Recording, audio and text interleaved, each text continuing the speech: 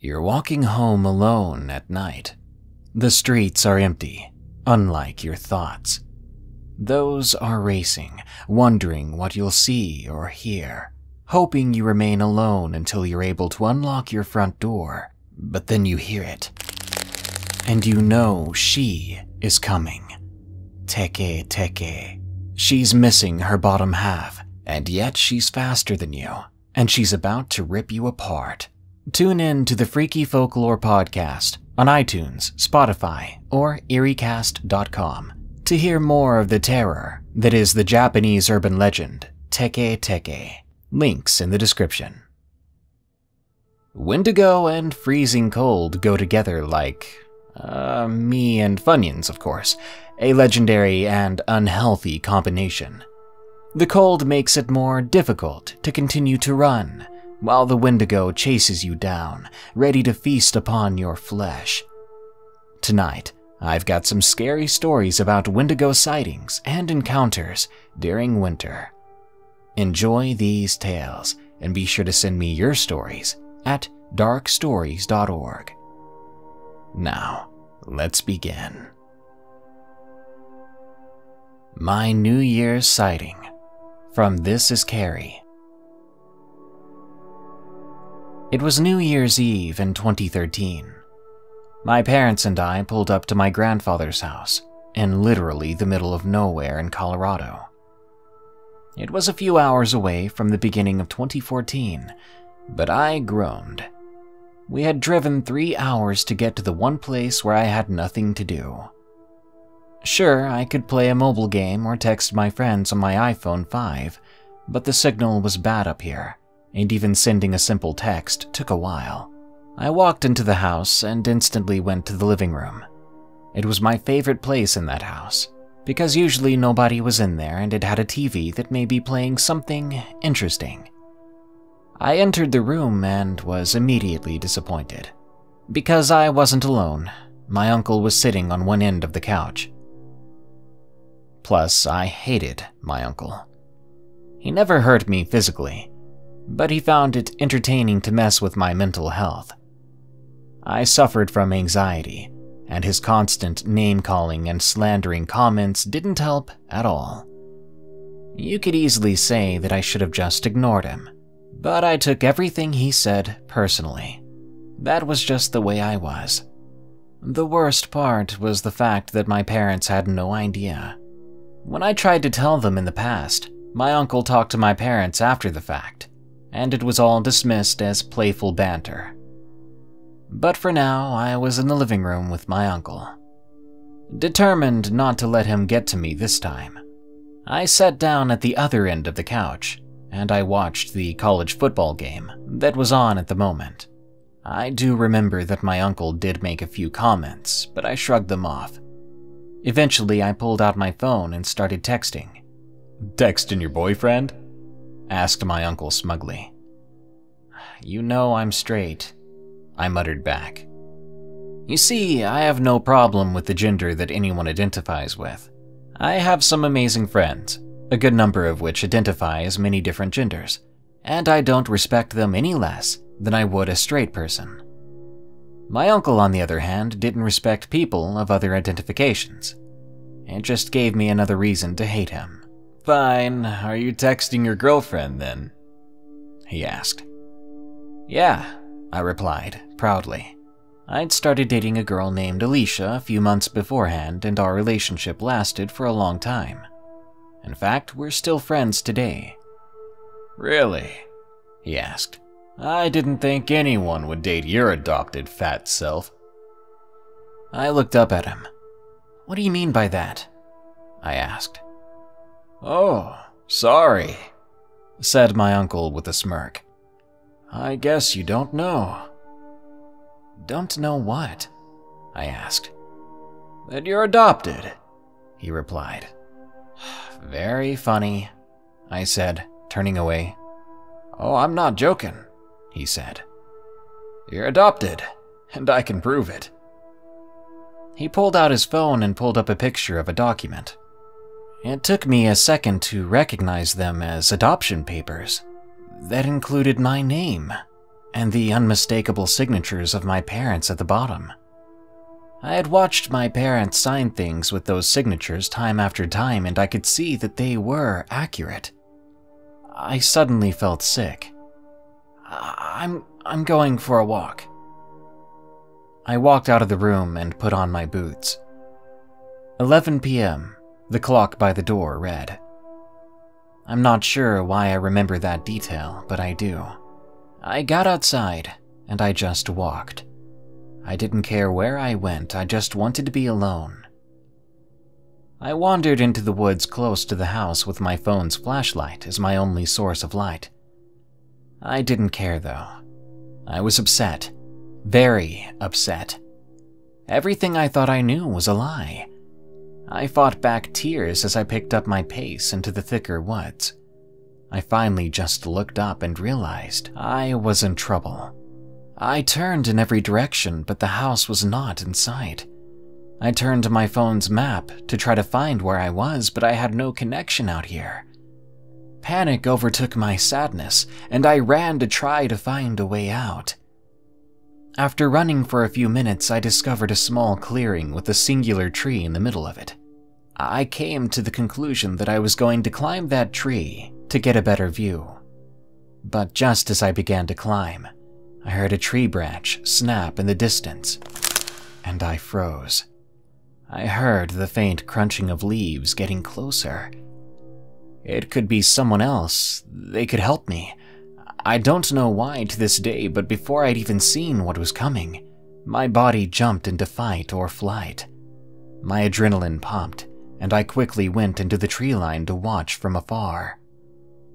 I turned off my phone light, so my only light was the moon. I heard the crunches enter the clearing, and my curiosity took over me. I peeked out from behind the tree, and I saw the outline of something massive. But somehow I could tell it wasn't a normal animal.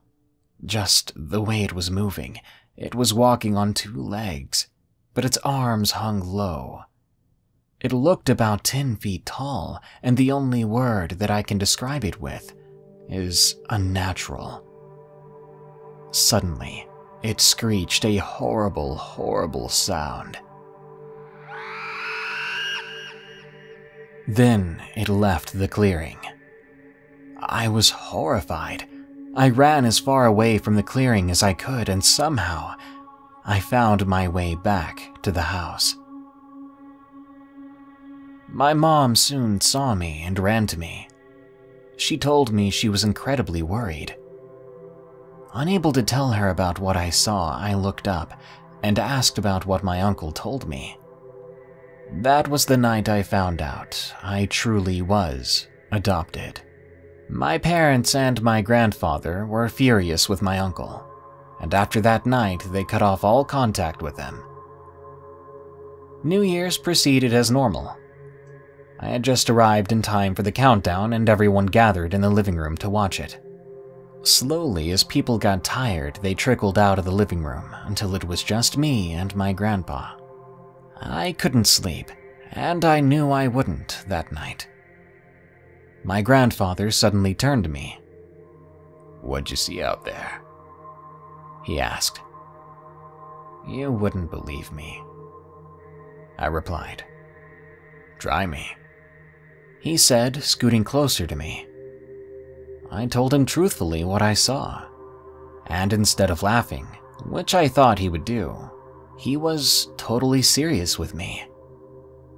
I've seen it too, he told me.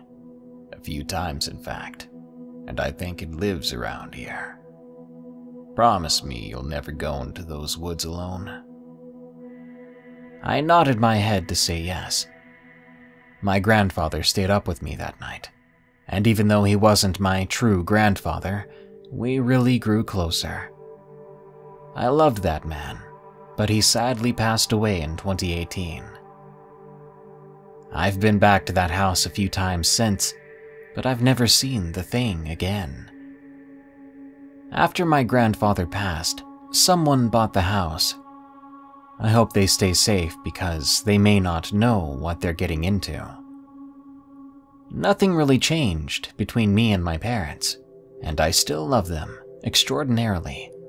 But the terror I felt that night will affect me forever. Wendigo in Indiana Forest from Flint the Dragon 1. It was January of 2019. My boyfriend asked me to reshoot a scene of a short horror film that we had worked on for his film class. I agreed to, because the scene we were reshooting was set in the forest about an hour away, so no problem. Then again, the past few times we'd been filming there, it was full of arguing, but we were able to hold together to make a bad short film. But I still enjoyed being in the woods for a change. The last time I'd gone camping at that point, I was seven, and I hadn't really been in a forest since then. I've lived in Indiana my whole life, and I was fascinated by cryptids. I knew what we saw that day. I was the lead actor in the film, playing a man who was driven insane during a walk in the woods with his best friend.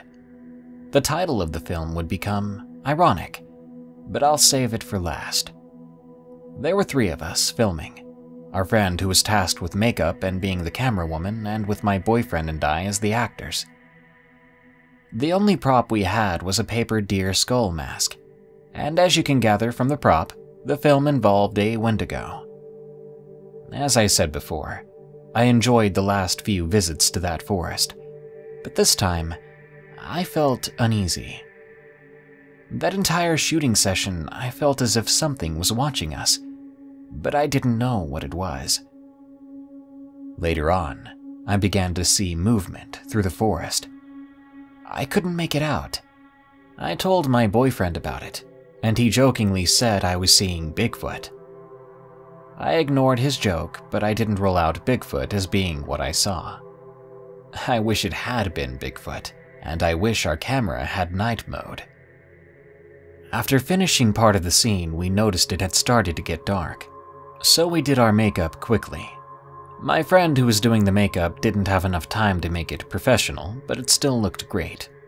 The bruises looked real and the fake blood had smeared great. When we got to the location for the final shot, the camera wasn't getting any light, so we opted for an audio ending to the film. As we packed up the camera, my boyfriend turned and looked into the surrounding trees, and he froze. I looked in the direction he was staring at, and our friend did the same. Through the trees, we saw a tall, lanky figure walking around. From what we could tell, it had pale white skin and long, claw like fingers. I haven't told my boyfriend or friend about this, but I saw its face. It had sunken pits in place of its eyes. It didn't seem to have lips either, but I could see teeth. They were sharp, and it appeared to be drooling. The moonlight reflected off of something dripping from its mouth. My boyfriend said we should get out of there, and he gave me his pocket knife as we made our way back to the car carefully. As we neared the parking lot, I heard slow steps coming from behind us, like that thing was stalking us. We made it to the parking lot, and I heard it run deeper into the woods. I was the last to get into the car, and as I opened the door, I heard this blood curdling shriek from the forest.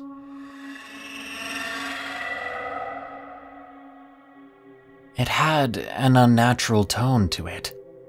I quickly got into the car, and we drove away. We didn't talk about it during the drive. My boyfriend was visibly shaken. We dropped our friend off at her house, and my boyfriend dropped me off at mine, then went home. I told my mom about what we saw, and she asked if I knew what it was. I said honestly, it looked like a wendigo and not the deer skull faced kind. It looked like what the original legends described, like it had been human at one point. I wanted to go back to where we saw it, but I decided against that, knowing that I couldn't fight back if things took a turn for the worse. And I'm not a small guy, neither is my boyfriend. but if the legends are true, we wouldn't have been able to overpower it. I haven't been in the forest since. I still have the mask. I kept it as a reminder of my encounter with that Wendigo. And as for the title of the short film we'd made, I'd given it the title of the first day of filming, not knowing we would even encounter that on the last day. It's titled Wendigo Woods. I haven't seen the film, but I hope to see it at some point, just to see if we may have caught it on camera. I'll post an update on this when I watch the film and let you know if I see anything. The Wendigo That Followed Me Home from Austin C. This happened back in December 2020 in the Great Lakes region of western New York State. It was a snowy night when this event happened. I had just gotten off work, and it was getting dark out already. There was a decent amount of snow on the ground, while it was still coming down pretty heavily. So I thought it'd be fun to take my snowmobile out for a ride, since I didn't have anything else going on. Little did I know that would be a mistake. A mistake I would soon regret. For some background, I'm a 23 year old guy and live alone in a pretty wooded area. There are a few farm fields surrounded by woods just down the road from me. I'm good friends with my neighbors who owned that land, and they let me ride on it. I went outside and the snow was still coming down pretty heavily, but that didn't deter me because I love the snow.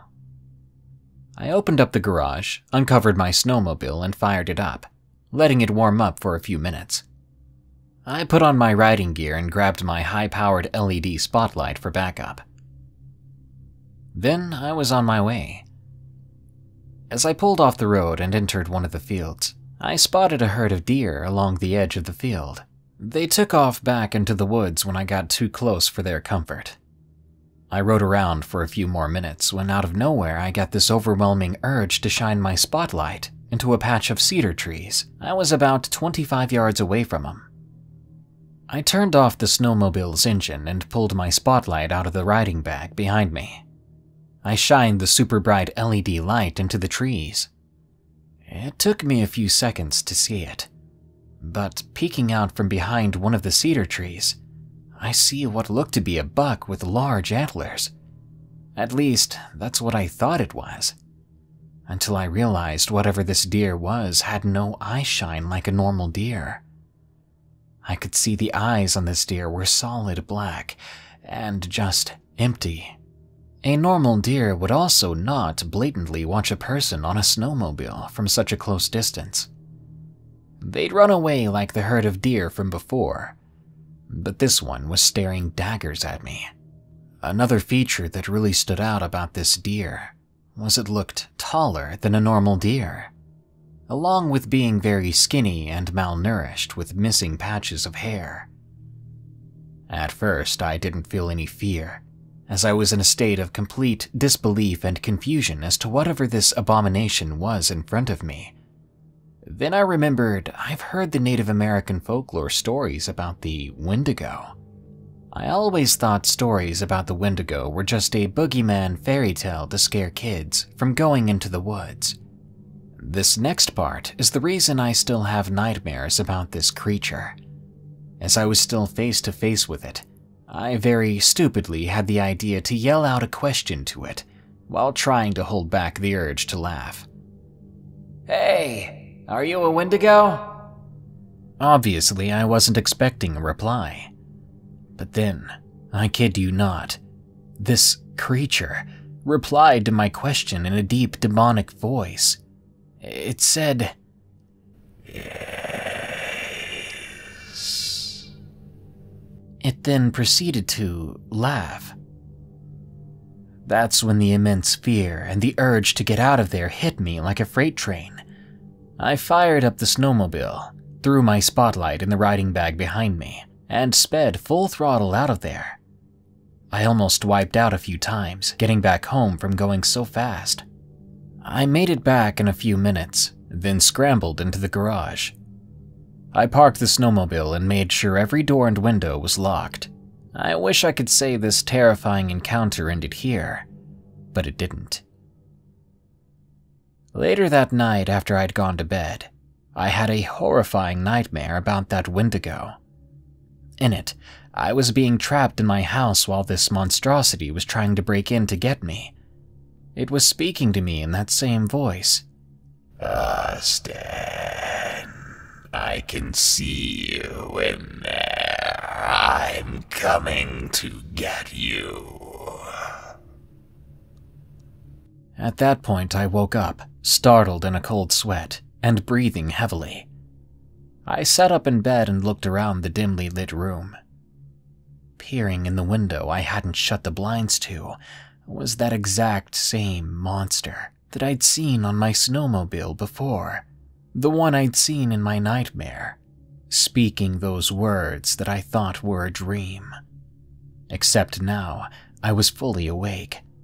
But this time, while it was still staring daggers at me. It had a huge grin across its face, showing a row of razor sharp teeth, and it was standing on two legs easily over seven feet tall. I could see even better now how much this monster looked like a rotting, decaying deer corpse. Needless to say, I screamed like a frightened child and started fearfully choking out the Saint Michael the Archangel prayer, even though I'm not much of a religious person. As I was forcing myself to recite that prayer, the monster began emitting this otherworldly growl. And it laughed again. When I finished the prayer with the word Amen, the monster was just gone. I didn't sleep the rest of that night, and dreadfully waited for it to come back but it didn't. I went and stayed with my family until I could move out of that house, and I never told anyone the story until now, out of fear of sounding insane. Even though I'm doing better now and living in a more populated area, I'll still have haunting nightmares once in a while about that terrifying monstrosity. I avoided becoming a mule for a Wendigo. From Death Raptor. This pandemic has been really hard for me, as I can't see my friends outside of online classes. I'm an extreme extrovert. It was around 7:30 to 7:45, and it was winter, so it was already dark then. That's when I had my encounter. I was relaxing outside in my aunt and uncle's hot tub. They have a cabin up on Mount Hood in Oregon, with about one road that passes by the grounds there's tall, medium, and small evergreen pines scattered about the landscape, with white snow on the ground from a fresh afternoon snowfall earlier in the day. I was sitting in the warm water, occasionally whistling out into the dark, since I enjoyed listening to the echo it made. I was making whistling sounds like the way you call your creatures an ark. So yeah, every so often I whistled, all the while I laid in the tub. I'd eventually realized I heard nothing except the light drizzle on the roof from the cold mountain rain. No birds, no other animals, and no people, except for my family. I whistled once more, but weirdly enough, I heard what sounded like a reply a second or two after the whistle I emitted. I made the horror movie mistake of whistling again, and I got another reply.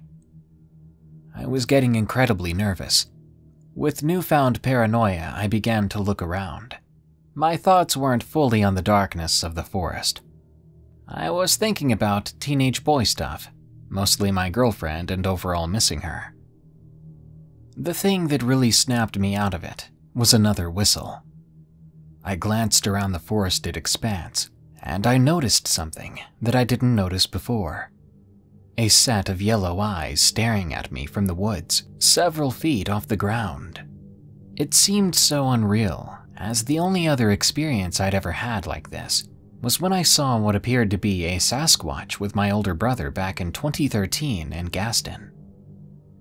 The eyes disappeared, and I didn't see them again. I somehow had the courage to be outside for about 10 minutes after that, until the smart side of my brain said, dude, get back in the cabin, I realized I didn't hear it leave, whatever it was. I got out of the hot tub immediately and went back into the cabin, changing and coming into my room that I was staying in. That's actually when I typed this up. After looking through similar stories and researching on Wikipedia, I realized I may have just avoided becoming the meal of a Wendigo. I doubt it may have been one, but if it was, I would have just told it I was too sweet, and it probably wanted something saltier.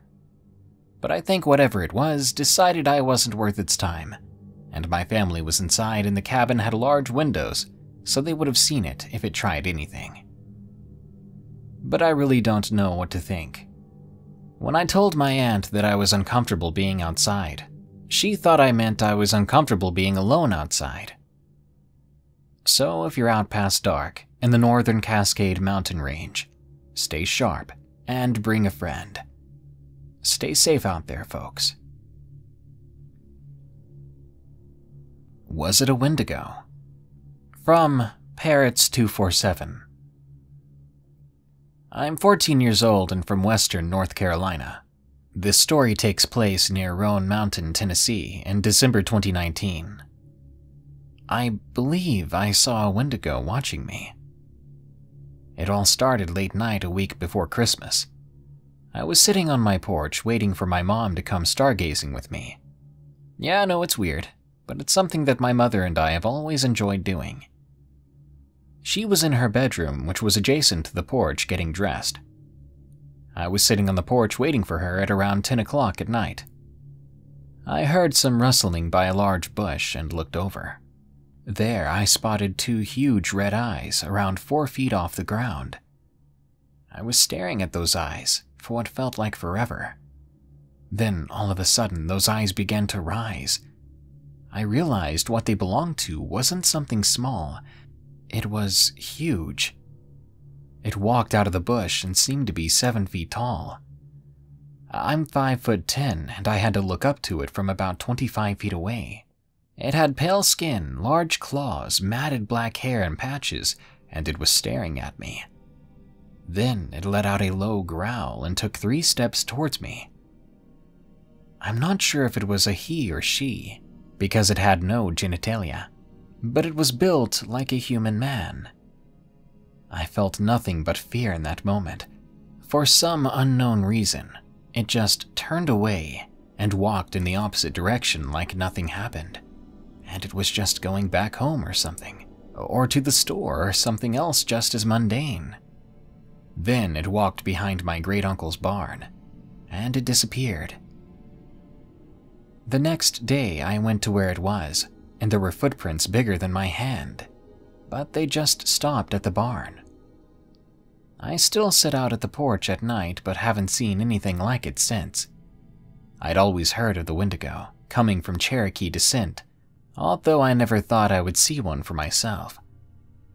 If you're ever near Roan Mountain, Tennessee, be wary of what's in those woods, because you never know what you may see.